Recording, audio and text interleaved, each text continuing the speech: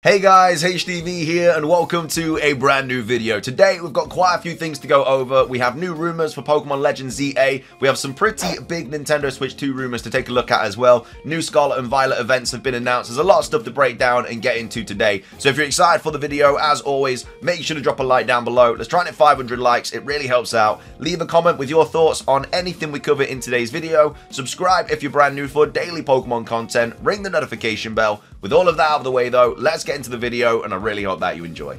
So, starting things off, let's quickly go over the new Scarlet and Violet event that was just announced. Obviously, the 7-star Charizard raid has now finished, uh, and we are back to these subpar kind of raids and hopefully the one after this is going to be something good whether it's a starter or a legendary but either way these are the latest raids for Pokemon Scarlet and Violet so we've got Serebii here tweeting out saying Serebii update the next Pokemon Scarlet and Violet Tera Raid battle event has been announced focuses on Brute Bonnet for Pokemon Scarlet and Iron Hands for Pokemon Violet. Runs from the 22nd of March through to the 24th of March. So obviously that is uh, this weekend. So nothing crazy there. Pretty subpar raid. As I said, we're only really bothered about we're only really bothered about legendary raids now. Like the starters aren't as good. I mean, it's nice to get the mighty mark on them and stuff, and it was good for the Kanto stars because they could drop Herba Mystica. But apart from that, you know, like, I don't think many people are going to be doing this, really, unless there's, like, boosted Herba I feel like the only way people are going to be doing these raids now if there are boosted Herbers and stuff, because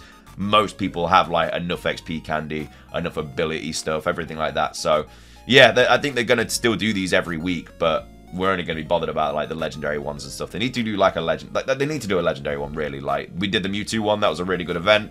They need to do like a Rayquaza or you know uh, Yveltal or Xerneas or Zygarde or something like that. I mean, they're not even in the game, so they would be even better to do um, and kind of like incorporate them into the game as well. But anyway, that's the Scarlet and Violet event talked about that way too much already because there's literally just nothing really about this event. Moving on, we do have some Nintendo Switch 2 rumors to take a look at. Um, so again, take this with a grain of salt. I don't know how YouTube would know the name of the next console, but this is what has been popping up lately. Like, this isn't just for this person is posted up for, it's been popping up for a lot of different people.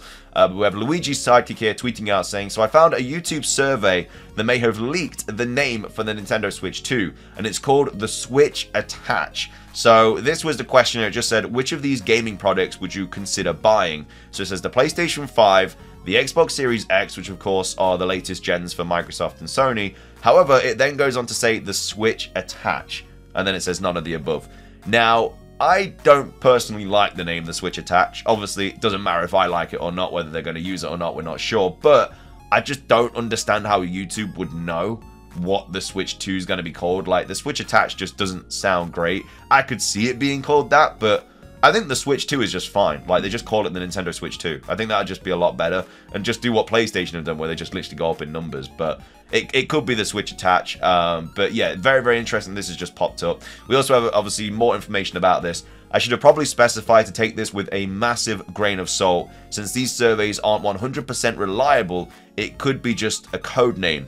Uh, the name could be Nintendo Attach and not Switch Attach, or it's fake. I just thought it was interesting enough to talk about. Uh, and then we also have some posts on Reddit as well. So this was posted by Roxy. People on Reddit have discovered this a couple of days ago, it seems. But according to the replies, YouTube using fake brand names for surveys is a thing they just do sometimes. So the Nintendo Switch console uh, may be called the Switch Attach. It definitely sounds like a possible name for the next Switch console, and my Google search didn't find any apparent uses of the term Switch Attach, including any fake console mock-ups or incidental pairings of the two words. Yeah, I know that, but there's been times it's been correct, so I don't know. I don't actually think it's legit, but I just thought it uh, was interesting um, uh, enough to point out. So, like I say, th this isn't a faked image. You know, this is actually a question that's been popping up for multiple people online. It's just whether YouTube have made up the name or it is actually a thing. Like, they've been, apparently been correct in the past. I don't know when they have been correct in the past. I don't know if it's about consoles or just like games or something like that that they've accidentally leaked. But uh, either way, it's just food for thought. Like I say, the image is not fake. Like it, has been popping up for a lot of people. It's just whether they've like just randomly made this name up or not. So yeah, the Switch Attach potentially could be the name of the Nintendo Switch 2. We're just not sure though.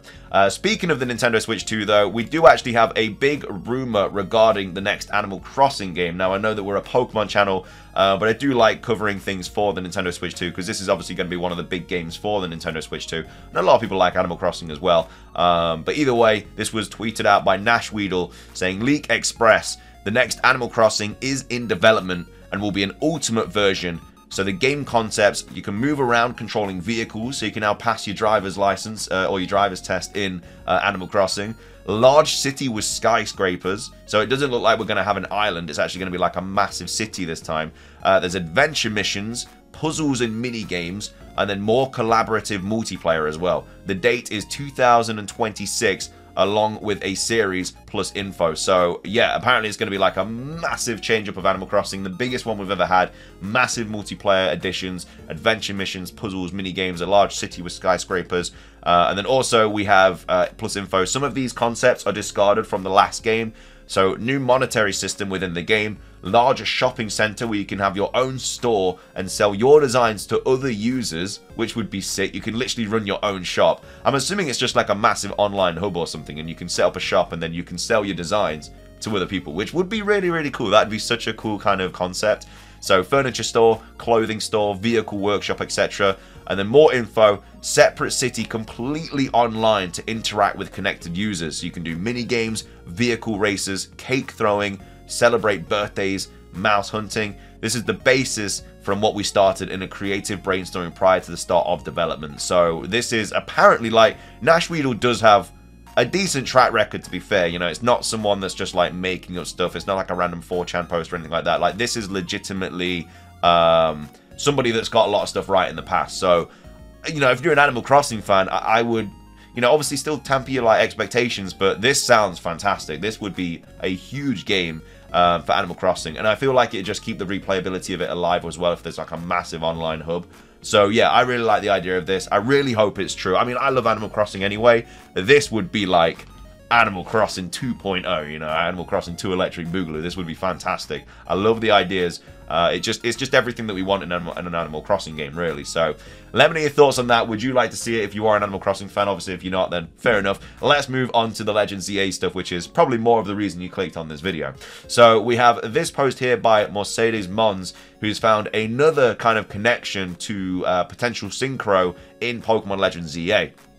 And again, I still think there is going to be potentially some sort of synchro kind of situation with Legend ZA because in the original trailer, in the teaser trailer, should I say, we do follow Pikachu, so that could be like a form of synchro. And as well as that, we got synchro in Scarlet and Violet. Maybe it was like a test run for Legend ZA.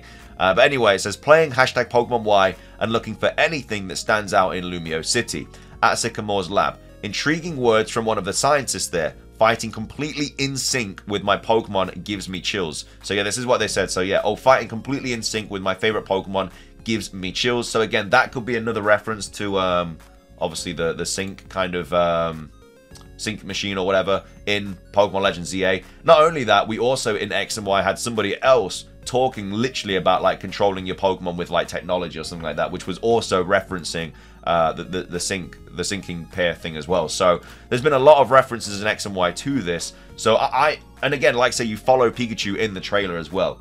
You know, you, you follow it through like Lumiose. So I think we potentially could have it, and I think it'd be a really cool thing to as well. Maybe we have it in every Pokemon game from now on. You know, I think a lot of people really enjoyed the Synchro Machine, um, and I think that they've seen the feedback and like, okay, yeah, people do like this. Let's just implement it into every Pokemon game because they've already got the technology and stuff. So I would really like to see the Synchro Machine popping up in like multiple uh, Pokemon games, but it very well could pop up in Pokemon Legends ZA. Uh, moving on, we also have um, this quickly to go over as well. This was posted by Yorodon, so massive shout out to them for finding this connection too. Uh, this is all about uh, potential World Fair, Japan, Paris connections, stuff like that. So we have Yorodon here tweeting out saying, So with Pokemon Legends ZA releasing in the same year as Japan is hosting the next World Fair, I think maybe it's notable that there was a World Fair in Paris in 1867 during the renovation of Paris. And obviously, what are we renovating? Lumio City. So this was posted saying the exposition uh, Universal of 1867, so better known in English as the 1867 Paris Exposition, was a world fair held in Paris, France from the 1st of April to the 3rd of November 1867. It was the second of 10 major expositions held in the city between 1855 and 1937. A number of nations were represented at the fair. Following a decree of Emperor Napoleon III, the exposition was prepared as early as 1864, in the midst of the renovation of Paris, making the culmination of the Second French Empire. Visitors, uh, visitors included uh, Tsar Alexander II of Russia, a brother of the King William, and Otto uh, von Bismarck of uh, Prussia, Prince uh, Metten, I don't want to get these names wrong, but these are all the different people from different countries that kind of uh, came out to Paris uh, for the World Fair and stuff. So it's very interesting that they obviously hosted this World Fair. Japan's hosting the World Fair, should I say, the same year uh, that obviously the World Fair was in Paris in 1867. So it could have something to do with that. And then one impressive feature of which was this uh, aquarium would be cool if ZA had one. So this was a massive aquarium that was at the World Fair. There's images of it and stuff like that. It looks really cool. Like this looks like a place you would find Pokemon. Like it looks very much like cave-like, obviously being an aquarium as well. There could be really cool water types as well. So yeah, th this would be a really cool kind of extra thing they could add into Pokemon Legends ZA um, which would be obviously hinted at from the World Fair of Paris. This was also one of the first aquariums in the world, so that's pretty significant. The first public aquarium opened at the London Zoo in 1853, so the renovation of Paris is just generally a good time period for highlighting aquarium features. Like I say, I still think we're going to have, like, time travel in this game. I think we're going to go to the past. I think we're going to go to the future.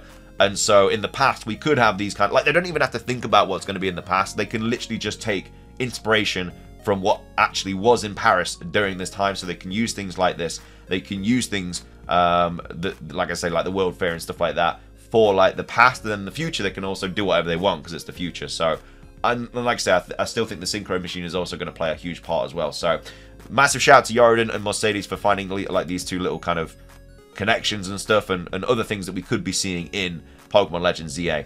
Uh, so that's all that. Let's finish today's video off with a good old 4chan rumor. Uh, this was posted on the 11th of March, so a week ago um, today.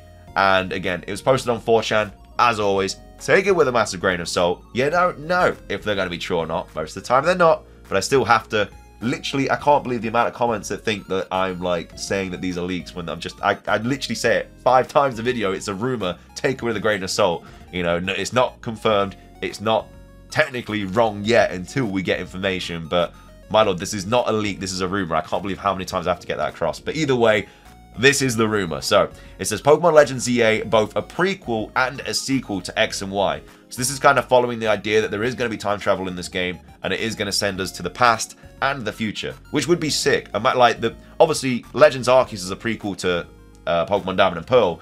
Legends ZA is a prequel to X and Y, but it could also be a sequel as well. But then I guess if they do a sequel in the future, it would just have to be I guess if they do a remake in the future, they just wouldn't be able to do it in the future because they would have already done it. But it just had to be a remaster of X and Y. But anyway, apparently it's a sequel and a prequel to the Generation 6 games. You start off in the present day, so it takes place after X and Y, which is where the hub of uh, the city of Lumiose is. So it takes a little bit, of, I'm assuming a little bit of time after X and Y. Um, and yeah, you start off there, and maybe something's happening with, happening with Lumiose um, where you have to like renovate or maybe you have to go back in time to renovate. We don't know which time period you have to renovate the city in. Uh, but either way, that's apparently where you start off. And then says you continuously travel to the past where Lumiose is a wide open and vast wilderness and complete missions. Like, the, the way I see it as well is like, I know I'm just kind of going over into my own kind of head canon here, but like maybe the whole Legends Arceus um, battle style and like um, agile style and strong style and stuff like that, maybe that's only in the past. You know, maybe we have, which would be kind of crazy, we have different gameplay mechanics depending on where we are in the kind of timeline. So when we go back in time, we have Agile and Strong Style, Pokemon attack you, it's Legends Arceus catching, everything like that. And then we go to the future and it's like normal battles. So we have trainer battles, we have catching Pokemon normally in the wild, we have um, you like civilization, like where Pokemon don't attack you and stuff like that. would be insane. You'd have the best of both worlds. So if you don't like Legends Arceus, you can chill in the future. If you do like Legends Arceus, you can chill in the past. You know, it'd have bet like you wouldn't be able to complain about the, that game because it would have literally everything. I don't think they'll do that, but that would be sick. Uh, anyway, they go on to say, as you continue going to the past and changing events, the city in the future changes. So that's a really cool idea as well. I, I do like the idea that things that you do in the past actually alternate the city. It'd be cool if everybody's city was different as well. Like maybe um, you get like a choice in the past, like maybe whether you go this way or whether you go this way or whether you join this team or this team or whatever. Um, and then if you join this team, the city looks different. If you join this team, the city looks different. It'd be sick because then also every time you play the th through the game, your Lumiose city would look different as well. I don't think that'll be the case because Pokemon, for some reason, don't do those kind of things, but it would be really, really cool. Uh, and then goes on to say, ultimately, you unlock Zygarde and go back in time to stop the firing of the ultimate weapon. Um, which is fair enough. I mean, there is obviously a lot of history based on this ultimate weapon with Kalos. And then it says, this has ramifications for Mega Evolution in the series moving forward in a way that I won't spoil. So I don't know if that means, like, Mega Evolution is going to be present in future games or something like I don't think that Generation 10 will have Mega Evolution. I still think it's going to be Fusion. I think that's going to be the gimmick. Um, there's been a lot of hints towards Fusion recently in, in the most recent games, but yeah, I don't really know what this ramification would have for Mega Evolution. Would have to wait and see. Uh, Primal Xerneas and Primal Yveltal are a thing. I'd expect to see something like that, whether it's primals or origin forms or something like that. I am expecting you, uh, Xerneas and Yveltal to get some sort of form in Pokemon Legends ZA, just like Origin Dialga, Origin Palkia. We've got Primal Kyogre, Primal Groudon. You know, I'd like to see something like that. I don't think Zygarde will get a form because we've already got so many forms of Zygarde, but I do think we'll get something for Xerneas and Yveltal. The starter Pokemon are Snivy, Torchic, and Piplup, but they have regional forms. So, yeah, th they are like the likeliest options as the starters, especially if they don't get Mega Forms. Like, a lot of people are saying, oh, Torchic can't be the starter because it's got a Mega Evolution already. Like, there's no guarantee that the starters get Mega Evolutions. Maybe they just get regional forms, just like they did in Legends Arceus.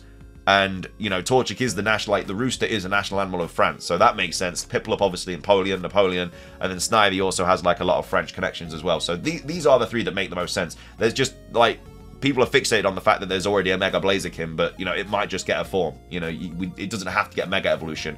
And instead, as they go on to say, Chespin, Fennekin, Froakie lines get Mega Evolutions. Maybe it's a situation when we pick one of these starters and then we go through the game a little bit and we get one of the Generation 6 starters and they can Mega Evolve. Just like we got in Pokemon X and Y. You know, you pick one of the Generation 6 starters and then when you make it to Lumiose, you pick one of the Kanto starters and they have a Mega Evolution. It could be the same situation here. Um, like, these could be the starters and then these could be the Mega Pokemon we get. And as well as that, the same we get along with 11 other Pokemon lines as well. So that'd be 11, 12, 13, 14 new Mega Evolutions, which I could see as the amount. Like 14 is quite a decent number for new Mega Evolutions. Um, with a few forms there as well thrown in. I don't know if there'll be any new Pokemon. There might be like a new Legendary or something. Um, but, you know, if we get the starters getting forms, we get like the Legendaries getting forms, and we get 14 Mega Evolutions, I'd be very happy with that. Uh, still no Mega Flygon, though, unfortunately. And there are also Paradox forms and cross-gen evolutions. It was sounding okay until this. I don't see why Paradox forms would really be in this game. Uh, Cross-gen evolutions as well, like maybe because obviously we got them in Legends Arceus. Um, but yeah, Paradox forms, I'm not, I don't know if that'll be in the game. I know it's like about time travel potentially and stuff like that, but I, I really like this rumor. I really like the idea that you go back in time, you go forward in time. I like the idea that what you do in the past changes events. You know, I like the fact that we're getting forms for the starters, forms for the legendaries, um, Mega Evolutions for the starters and 11 other Pokemon as well, like cross-gen evolutions. I really like this rumor. I don't know if it's true or not, really. I think the Paradox forms, I just can't see that. I think that's just a Gen 9 thing. And I know we're still technically in Gen 9, but we're not in Scarlet and Violet with this game. So I personally don't think they're going to have them, but I really like this rumor. I really, really hope it is true. Uh, but either way, let me know your thoughts on the rumor. Do you think it's true or not? What are your thoughts on everything else that we covered today as well? Let me know your thoughts on this new raid event for Scarlet and Violet. What are your thoughts on the Switch 2 situation? Uh, and then also the Animal Crossing stuff, and then the other things we've covered as well for Pokemon Legends ZA. But anyway, that's going to be everything from me. If you enjoyed, like I say, drop a like down below. Let's try and hit 500 likes. Leave a comment, subscribe if you're brand new, ring the notification bell for daily Pokemon content. Have a fantastic rest of your day, and until next time, peace.